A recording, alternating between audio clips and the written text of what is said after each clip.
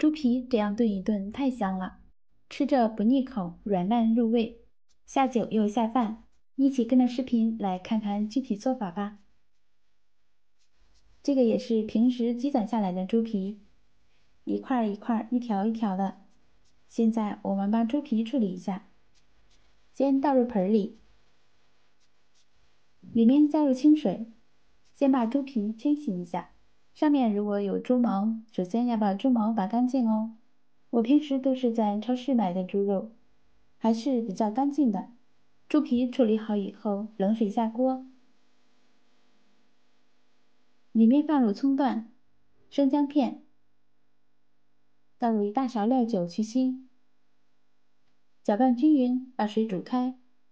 等待锅中煮开以后，可以盖上盖子。盖上盖子，把猪皮煮十分钟左右，千万不要煮的时间太久。煮好以后，控水捞出来，放入清水里，把猪皮洗干净。这一步也是给猪皮降降温。把猪皮表面的油脂洗一下，等一下操作的时候不会打滑。洗好以后，放在案板上，把上面一层肥油刮干净。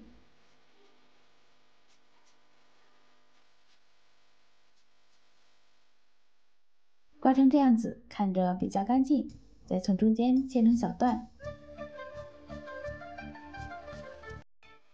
用一根筷子把猪皮搓一个洞，然后把棉绳穿进去，可以两个为一组，穿在一起，然后打成结。用一个晾衣架把穿起来的绳子一个一个的挂在衣架上面。天气好的时候放在外面晾晒。这几天河北都是艳阳高照。这样猪皮晾晒起来，水分就容易蒸发的很快。这个是晒了两天的猪皮，已经很干了，这个就可以用了。把一个一个的绳子取下来，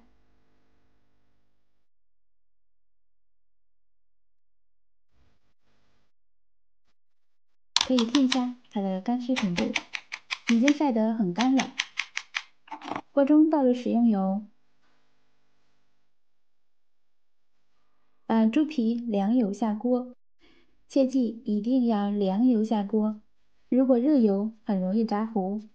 猪皮放在油锅里，随着油温慢慢的升高，猪皮也会由硬变软。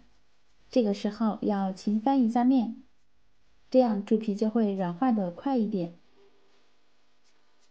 随着油温慢慢的升高起来，看起来猪皮也会膨胀。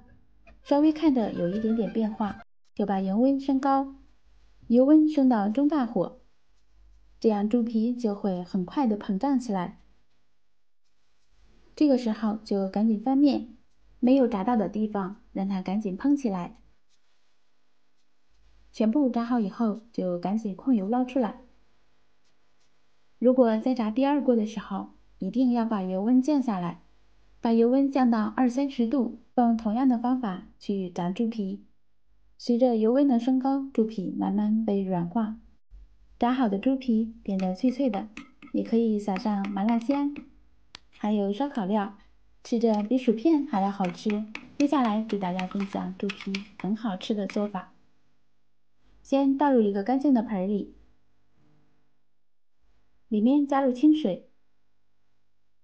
把表面的油脂洗一下，洗上两遍，再用干净的清水把猪皮浸泡一个小时。猪皮泡软以后，再切成两公分左右的条。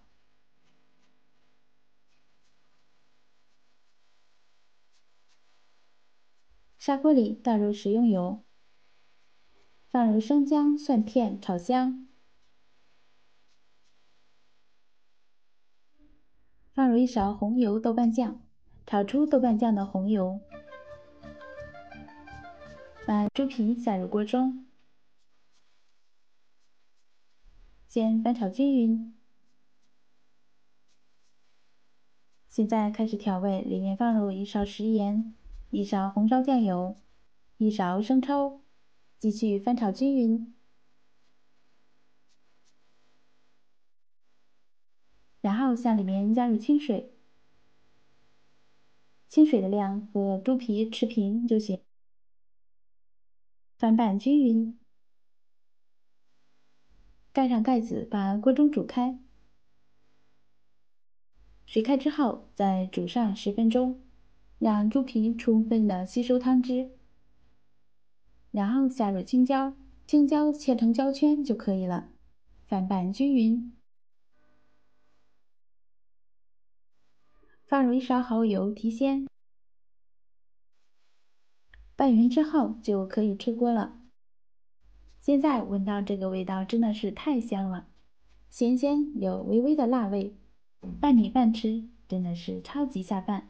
而且猪皮吸足了汤汁，有一点点的劲道，而且非常好吃哦。喜欢的朋友赶紧收藏起来试试吧，拜拜。